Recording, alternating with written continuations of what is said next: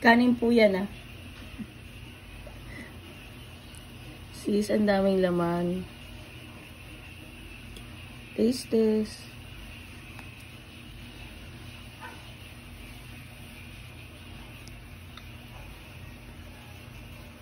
Mmm, sarap. Best. Nilalaglag pa.